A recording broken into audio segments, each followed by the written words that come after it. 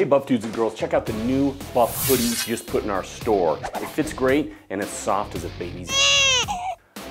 Check it out, link in description. Okay, on to the video. We're starting a new series. It's called The Beginner's Guide to the Gym, and our first episode is going to be on fear. There's an old German proverb fear makes the wolf bigger than he is, and that really applies to the gym, especially for the ones who are just going for the first time. It can be kind of a scary place. So today we'll be going over some really quick tips and tricks on how to make the experience a little bit more enjoyable so it becomes a place you'll come to time and time again and reap all those beautiful gains. Let's get started.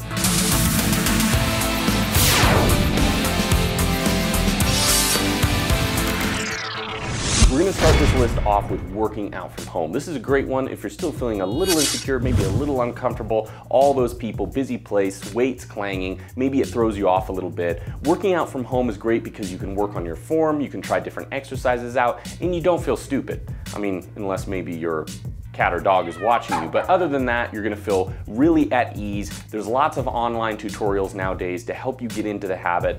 We have some ourselves. I've included the links in the description. So if the gym just doesn't feel right for you, try working out at home. And then as you get more comfortable, you can eventually move on to the gym itself. Body weight, baby. So you've been working out at home and you're feeling great, but now you want to venture out a little bit. You're finally ready to go to a commercial gym. So we're going to move on to step number two, which is going to be choosing the gym that's right for you. And a few things factor into this. It's not only going to be location, because you want something that's convenient for you. If you got to travel way too far, it might become a little bit of a hassle, and then it breaks the whole point of why you're going to the gym in the first place, to make it a routine to stay consistent.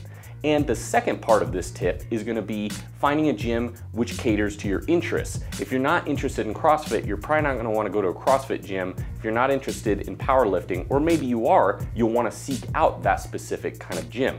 So not only find a gym which caters to your interests, also find one that's conveniently located near you. Number three on our list is gonna be avoid rush hour. So you found a gym that works for you, but now you wanna find the proper time to go. Typically, the gym is the busiest between 5 to 8 p.m. That's when everybody's off of work and school. They're all trying to do the same thing you are. It's really crowded, all the weights, all the machines, they're being used. It can lead to a pretty bad time. So what we do personally, we'll go to the gym about 5, 6 a.m. in the morning. It's a little bit of a hassle, especially for those of you who aren't morning people, myself included, but once you get into the routine, it feels great. You feel like you're beating the day, the sun hasn't even risen, and you're already in there getting things done. And it's also a great stress reliever because you have it out of the way. So later on, you don't have to think, oh, I haven't even gotten my workout in because it's already finished. So if you can, avoid that rush hour and you're gonna have a good time. Number four on our list is gonna be game plan. There's nothing worse than walking around the gym with no idea of what you're doing. You're just a mindless zombie. You're going in there, you're doing a few curls, you're doing a little bench. I'm sure for those of you who have been going to the gym, you see those people time and time again. They're in there and it doesn't really seem like they're accomplishing much at all. Don't be one of those people. Grab a workout plan online, maybe a video series, follow it from beginning to end. It's a great sense of completion and you also feel like you're in there and you're getting things done. And the best thing, you're gonna see real results. So definitely take into account this tip. Game plan, game plan, game plan. It's only gonna help you out in the long run. Number five on our list is gonna be learn proper form. Now, if you started your journey working out from home, you may have already got acquainted with exercises such as squats, pull-ups, a lot of the major compounds that you're gonna find in a lot of workout plans. But if you haven't, fear not, because when you're in the gym, it's about you. Don't look around thinking, wow, all these people look like they know what they're doing, so I must need to too. That's not what it's all about. It's about you focusing on you. So start with lightweight, practice that proper form, read up on tutorials, and avoid being that guy. We've all seen them. If you go to the gym, they're swinging the weights, they're not going below parallel, and they're just not getting a lot done. And also, they're probably going to injure themselves, which is something you never want to do. So don't just practice until it's perfect, make perfect practice until it's perfect.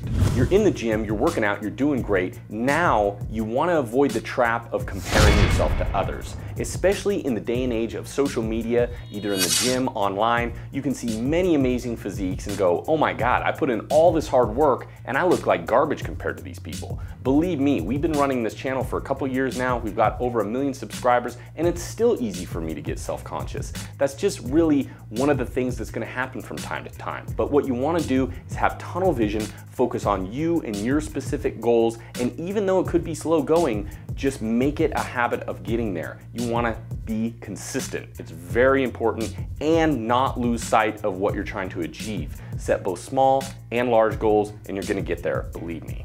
Number seven on our list is gonna be workout partner. A workout partner can be beneficial for many different reasons. They're gonna push you harder, they're gonna help to spot you during difficult compound exercises, which is really a lifesaver, and they're also gonna hold you accountable. So if you say you're gonna show up at 6 a.m. and you know they're gonna be there, well, that's what's gonna help you to jump out of bed, get there on time, and get that workout done.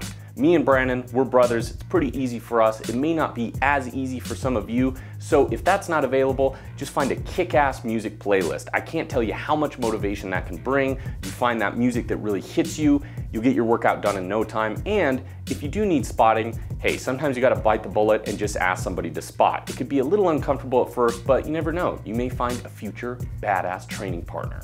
Yeah. Last on our list, and this is an important one, it's practicing gym etiquette half the videos on our channel are probably some comedic form of gym crimes, gym diseases, what not to do at the gym, and it's for good reason. This is a public place, there's a lot of people using it, and you wanna try your best to be respectful for others. That could be re-racking weights, cleaning the equipment once you're done with it, making sure that you're not taking up too many machines at the same time. Just try to be respectful of others. It's a pretty easy one, but it goes a long, long ways.